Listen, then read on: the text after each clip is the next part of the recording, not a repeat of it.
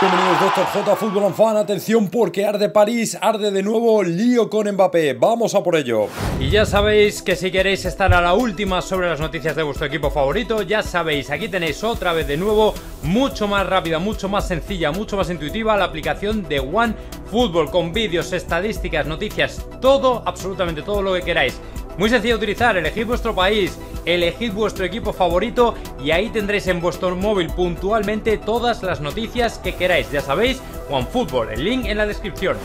Bueno, pues sí, efectivamente, no sé si tuvisteis la oportunidad de ver el encuentro Angers-Paris Saint-Germain, que ganaron los de Poquetino por 0-1, pero creo que de ese partido lo único que va a ser rescatable y desde luego lo único que ha quedado en la retina de muchos aficionados del Paris Saint-Germain es el cambio que en el minuto 79 se producía de Kylian Mbappé puesto que salía del terreno de juego. El asunto es que Kylian Mbappé había tenido un partido nefasto, como prácticamente todos los que lleva esta temporada. La verdad se ha dicho que el jugador no está teniendo una temporada muy resuelta que digamos y lógicamente las críticas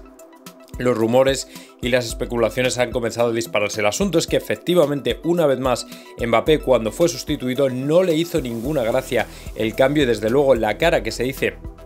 que puso, a decir por las imágenes que ha pasado en la televisión, desde luego eran un auténtico poema y han vuelto a hacer saltar todas las alarmas y todos los rumores en cuanto al futuro del jugador o exjugador del Mónaco, jugador del Paris Saint Germain. Yo personalmente creo que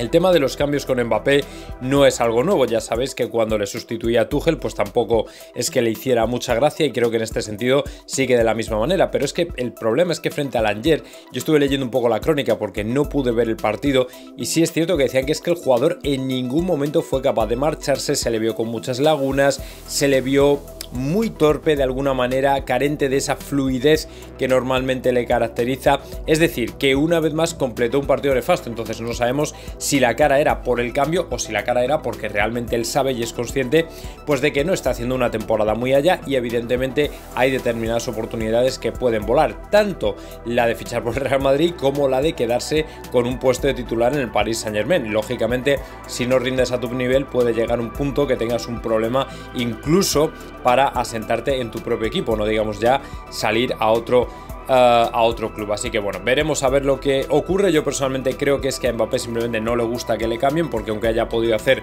un mal partido, al jugador siempre le gusta intentarlo, siempre le gusta estar por ahí. Y bueno, pues ahora veremos a ver que se determina si Pochettino se lo toma bien, si Pochettino se lo toma mal, o cómo va a lidiar con este tema que parece bastante recurrente en el jugador francés. Así que todo lo que sea que le vaya mal a Mbappé en el Paris Saint Germain, bueno para el Real Madrid. Nada más amigos, dadle like al vídeo si os gustó, comentad lo que queráis y por supuesto suscribiros a mi canal Dr. J Fútbol Fan.